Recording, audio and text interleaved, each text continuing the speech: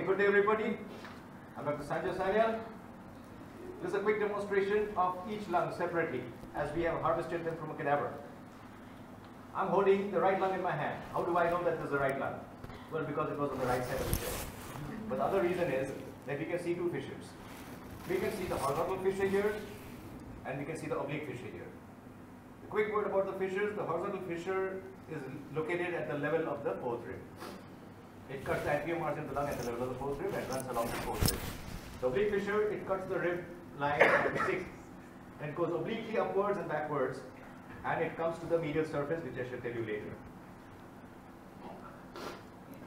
Okay, so that divides the right lung into three lobes.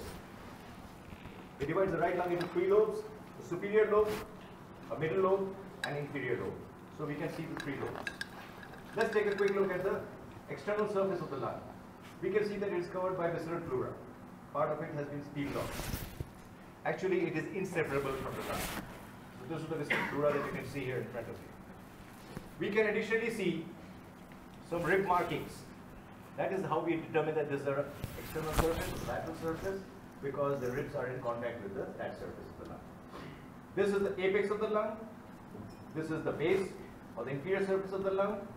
This is the anterior border of the lung, and this is the posterior border of the lung. The anterior border of the lung is sharp. The posterior border of the lung, which is in relation to the costovertebral recess, is more blunt.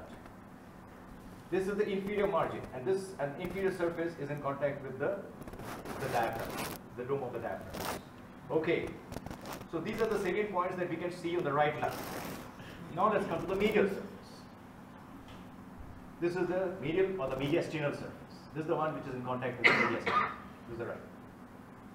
The first landmark that we, come, we notice is this structure here, which I shall tell you just a little later. This is the region of the hilum of the lung. But before I tell you the details of the hilum, let me come to the fissures where we had left them off. You can see that the oblique fissure is coming from the superior aspect, from the posterior superior aspect and meeting the hilum. And same oblique fissure is also coming onto the mediastinal surface and meeting the hilum from the inferior aspect. On the other hand, the horizontal fissure is coming to the medial surface and meeting the hilum horizontally from the anterior aspect of the hilum. So that's about the, the, the fissures that, that we had seen them earlier. Now let's take a look at the landmarks. This depression that we see here, this is the depression or the impression produced by the right atrium. So therefore this is the right atrial impression. And because this is the right atrial impression, this is the groove. This is the region where we have the right brachiocephalic vein continuing as the superior vena cava. And concomitantly, this is the region of the inferior vena cava.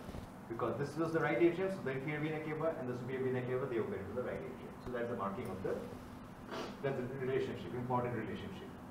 The next important relationship that I would like you to notice, and I had mentioned in the class, is that going behind the bronchi is the azygous vein. And the azygous vein then curves, hooks above the bronchus, and it opens into the superior vena cava. So this is the arch of the azygous vein impression. This is the impression of the arch of the azygous vein. The next important relationship that I want you to notice is this here, which goes all the way like this. This is the esophageal impression. Because on the upper part, the esophagus is towards the right, and as it comes down, it comes slowly towards the left. Is in relation to the esophageal impression. So these are the important impressions that we can see on the mediastinal surface. Finally, let's come to the hilum of the lung itself. So this is the region of the hilum of the lung where all the bronchovascular structures either enter or leave the lung. Basically, they should contain three main structures and a few other structures. What are the three main structures? We'll see the bronchi. So right principal bronchus, sometimes here actually you will see the right principal bronchus will divide into three lobar bronchi. And we can feel the bronchi by their cartilaginous field.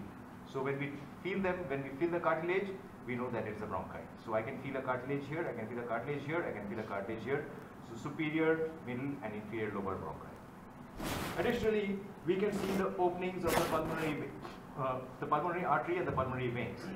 Usually the right side, of the pulmonary artery, before it enters the hilum, it divides into two. So there will be two pulmonary artery openings. And there will be multiple pulmonary vein openings, which will ultimately unite to form two right pulmonary veins. So these are all enclosed in the hilum. Additionally, we can see a few other structures here, these black structures here. Those are the lymph nodes. The hilar lymph nodes or the bronchopulmonary lymph nodes. And why are they black? Because they have absorbed all the carbon particles. And they are black in color. Those are the hilar lymph nodes that we can see them here. The, or the bronchopulmonary lymph nodes. The next point which I wanted to emphasize was this is the region where the visceral pleura becomes continuous with the mediastinal parietal pleura. So this is the region of continuation and there's a fold of the double fold of pleura which hangs down like this below the hilum and that is called the pulmonary ligament. So these are the salient points which I wanted to show you on the right lung. Now let's come to the left lung. How do we know that this is the left lung? Again, the most significant is the single fissure.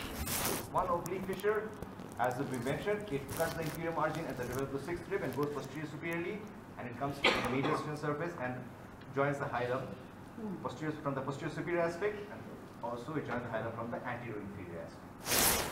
So therefore, the left lung has got superior lobe and inferior lobe. Next point. Again, you can see that the visceral pleura is here. It is closely adherent to the surface of the lung. And we can see the rib markings much more clearly here. We can see the costal impressions. We can see the costal impressions much more clearly in this specimen here. There are a few additional points which, apart from the, the superior, the apex of the lung, the base, the anterior margin, posterior margin, which all matches the same thing as mentioned in the right lung, those I shall not repeat. I shall just mention some extra points which are seen on the external surface. First of all, we see this depression here, in the anterior margin. What is this depression? This is called the cardiac notch. The left lung, the, the, the, left lung has a cardiac notch, the right lung does not have a cardiac notch. And just below the cardiac notch, can you see this small process projecting out? This is the lingular process of the lingula. Lingula is present just below the cardiac notch, this is only in the left lung. Okay, so these are some extra things which are visible in the left. Now let's come to the mediastinal surface and see how it differs from the right lung.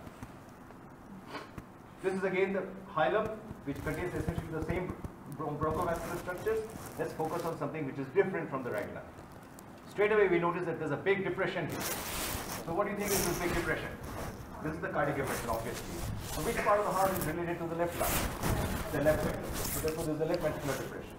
That's the first important landmark that you notice here. The next important landmark that you notice here straight away is this big groove here which goes on the back, which curves like this. What is this? This is the arch of aorta and the descending aorta. This is the aortic impression that you see here. That is another important landmark. And this is the left lung. So therefore, you can also see another groove here coming out from the arch. What is that? This is the left subclavian artery. This is the left subclavian artery impression. So these are the important relationships that you can see. You may be able to see a little bit of the esophageal area here, but that is not so significant. It's the aorta which is more significant. And finally, here also you can see that this the bronchovascular structures are seen much more clearly here. Again, you can feel the bronchi by their cartilaginous field. Here there will be only two lobar bronchi, a superior and inferior lobar bronchi.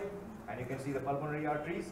There will be one pulmonary artery opening and one or two or multiple pulmonary veins depending on how many uh, it has formed before it, uh, before it comes out. And you can see that this is also the remnant of the pulmonary ligament which is seen much more clearly here. Pulmonary ligament is seen much more clearly. Remember the pulmonary ligament is the place where the visceral and the parietal pleura are united and a fold of it, a double fold of it hangs down below the hilum which is called the pulmonary ligament. So this is all the salient things that I wanted to mention to you about the right and the left lungs. Thank you very much for watching ladies and gentlemen. Thank you camera persons. Have a nice day. Dr. Sanjoy Sanyal signing out.